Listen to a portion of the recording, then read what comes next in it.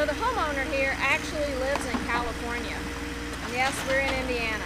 But he actually bought it as a rental property. So he's having a local handyman fix up the inside of the house and now we're gonna clean up the outside yard.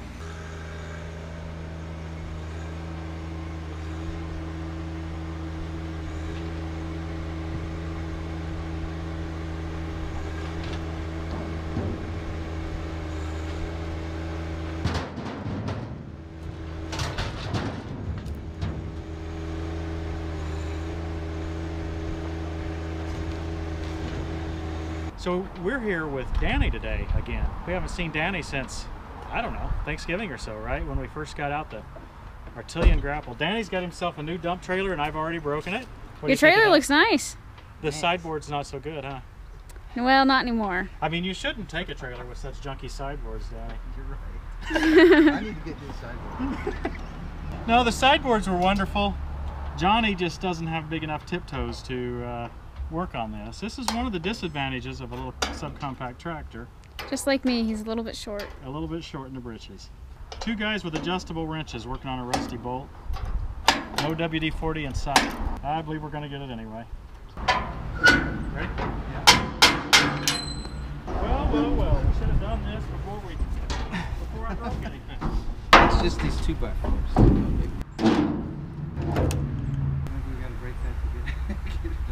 Isn't that amazing? They must have built it in there, right? There is no other way. I guess we're going to have to finish breaking that 2x4 off. Removable sideboard. Yeah, they are removable. That's nice advantage you got there.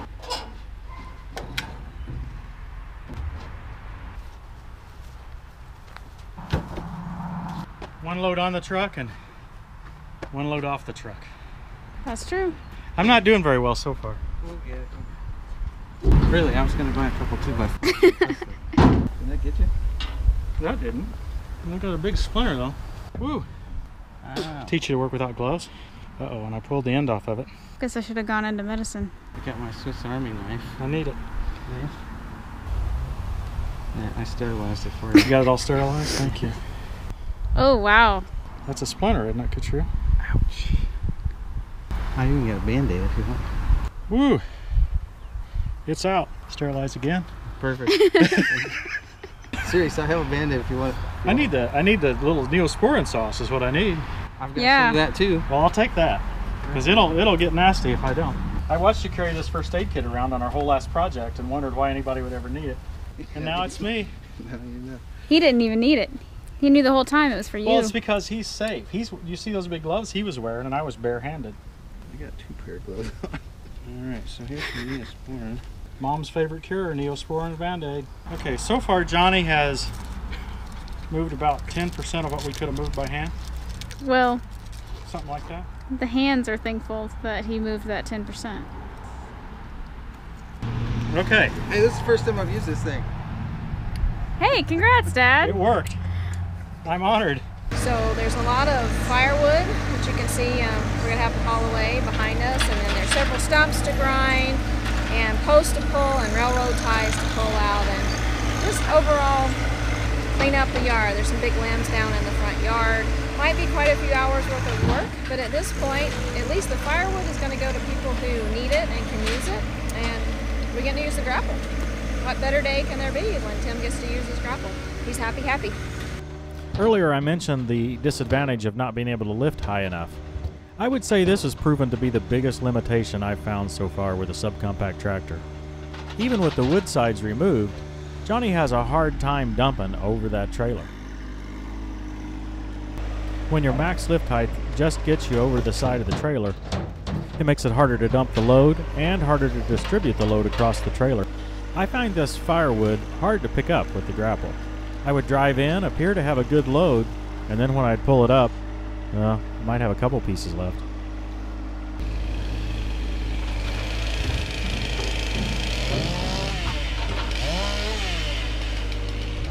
So Adrian suggested that I go in from the end, and that did seem to help.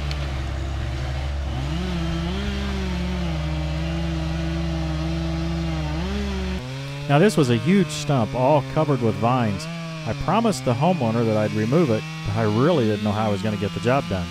After Danny started sawing it off, we realized it was rotten. Good news!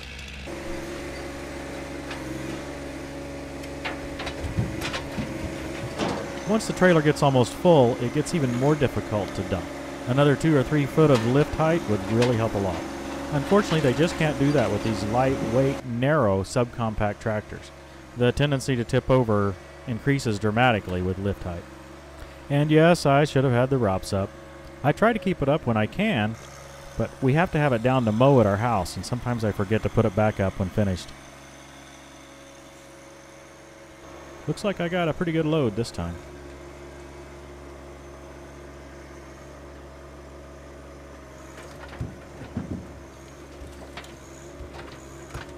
So we're loading all this wood into your trailer. What what might you do with it? Well, I have a friend who does uh, a lot of auto repair in Indy, and uh, he has a little stove in there so he can stay warm in the wintertime and still work on cars. So I'm going to dump it all at his place. The cool part about that is uh, he helps a lot of people out with car stuff, just charging them for parts sometimes, and Oh, cool. if they can't afford it, he'll just tell them it's on the house, and God bless. Very nice. Yeah. You can help him out, and Yeah, I'm happy he to can bless help him. Other, others out.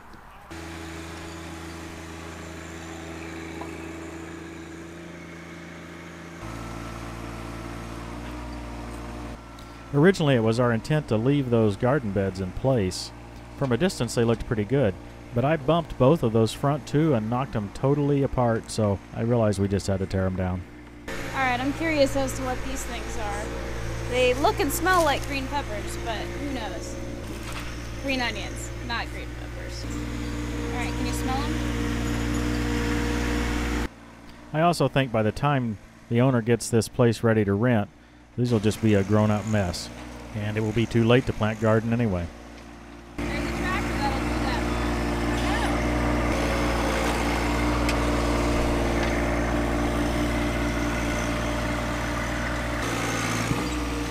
There you go. That's not hard.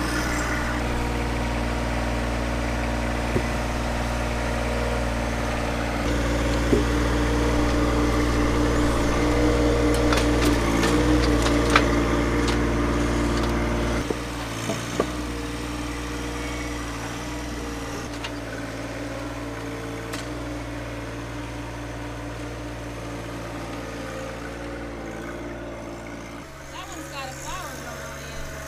Sure does, honey. Kind of pretty. Kind of smelly too. Oh, look at there. Wow. Did you know that's what was inside?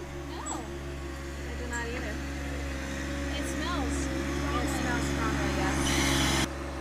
We'll gather all this treated wood up and put it in a pile. There's a nearby recycling type place that will take it.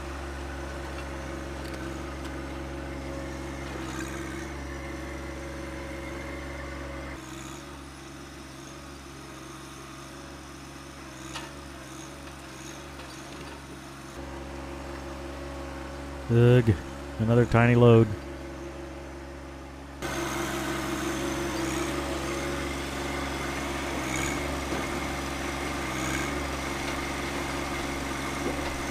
There's a lot of wood here. Yeah. And there's a whole lot left. I know. I had estimated that pile of wood to be three loads on our trailer. As you'll see in a few seconds, and in a later episode, I was way off.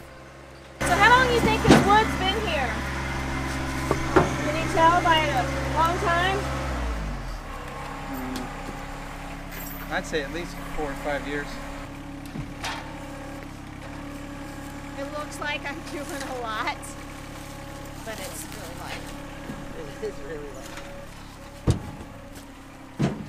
Why is it so light? It's almost rotten. Ah. It's been here for so long. Yeah. Did they not teach you this in those biology classes? Uh, no, but I can tell you all about chicken egg development. Well, that's probably just as important. There's some stumps. Well, there's a big stump out here, and there's stuff over by the little shed, and another one back out in there from where trees have been cut down.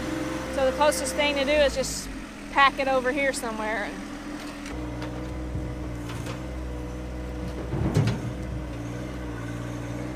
That's all I can put on it. I mean, if you want to hand out, hand load more, we can. But No, no, I've got plenty of weight. I think. oh my goodness, yeah, for your 150 maybe or 1500 maybe, but uh, for Yeah. that trailer, Yeah, not we for could the stack trailer. it sky high, couldn't we? Hey, speaking of that trailer, I don't remember you having this the last time. Yeah, this is a gift from some friends of mine. Wow, a gift. That's Yeah. a nice gift. Uh huh. One of my friends told me to start looking around for a trailer, and he uh, he said he'd pay for it. Wow. So I called another friend, and he had just uh, decided he was going to sell two of his trailers, and this is one of them. okay. So all of it worked out. How much can it haul? Do you Uh, it, it says you can put ten thousand in the in the bed and dump. Good job. Thank you. So it's a dump trailer too, I assume. Yes. That's great. Uh huh. So now you can haul it to your friends and dump it out, and they can handle stacking it if they want to.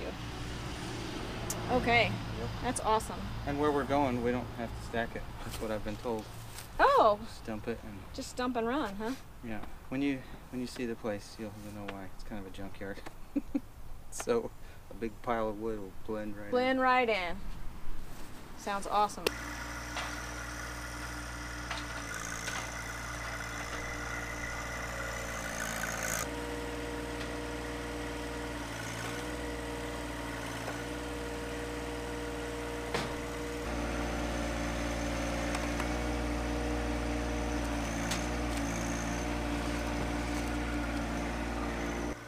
All this discussion about the lift height challenges should make it clear now why we've got this custom trailer. Ours has low profile axles. It uses tube instead of channel, which is more expensive, all in an effort to keep it as low as possible. I think this is a maple. I think this might be oak, but I'm not sure. I should be better at it than this, but I'm not. That's pretty impressive that you can tell that there's a difference between those. Yeah, this is definitely uh, different than these three. I think it's still good for burning.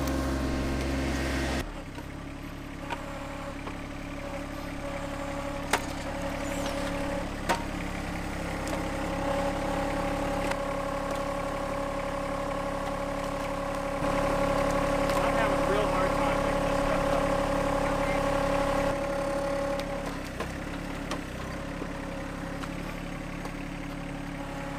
Check out dktrailers.com, call Brad, and ask him for the Tractor Time with Tim configuration.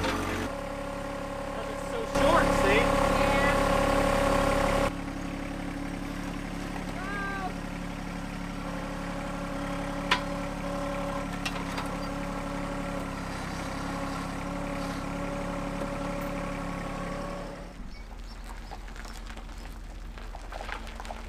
So here we are in the junkyard. This is going to be where we put the wood. So Danny set the bar pretty high as far as backing the trailer in, I must admit that. You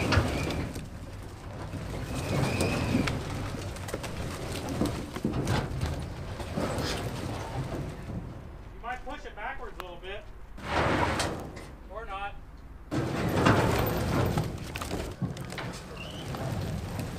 Okay, stop.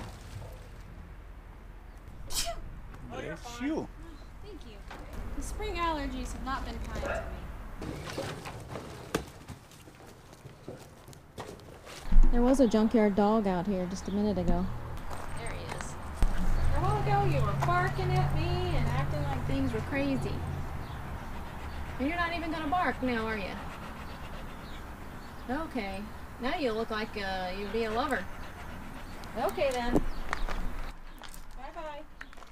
Bye bye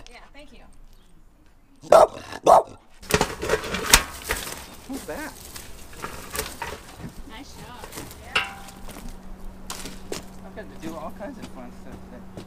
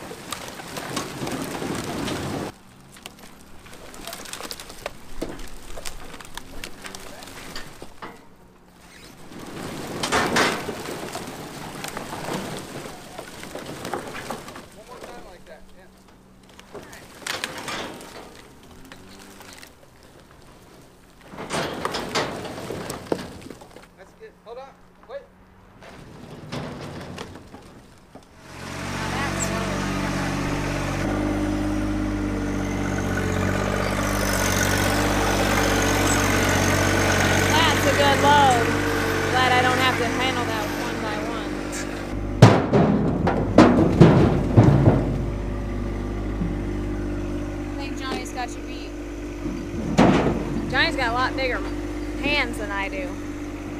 A lot bigger grips.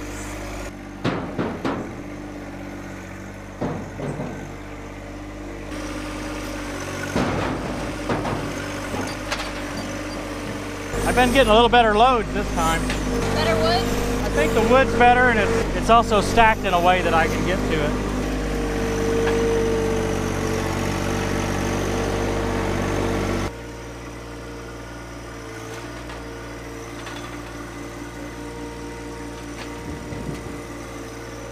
Get that? I got it pushed over to the other side that way.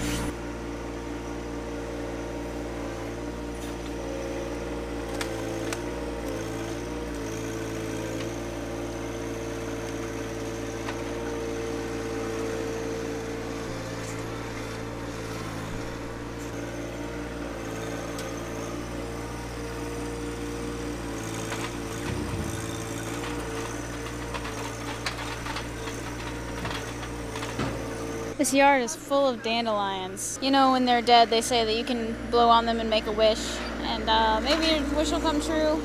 I don't know about that, but uh, here's a dandelion. You can blow on it and make a wish. Tell me if it comes true in the comments. Wow, that was not successful. That's better.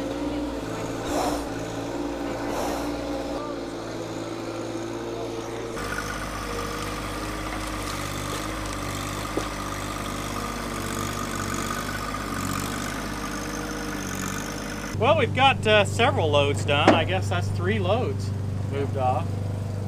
I don't know if the grapple actually took it a lot faster, but it probably did a lot faster than what I would have done because I'd had to stop for a, a break every five, ten minutes. Yeah. Danny, it's great to have you on the program again. Thanks. I really appreciate your help. Good to good to be uh, joining Tractor Time with Tim. Yeah. I think Danny's going to be a regular. I got this figured out. So, thanks for watching, everybody, and we'll see you next time on Tractor Time with Tim.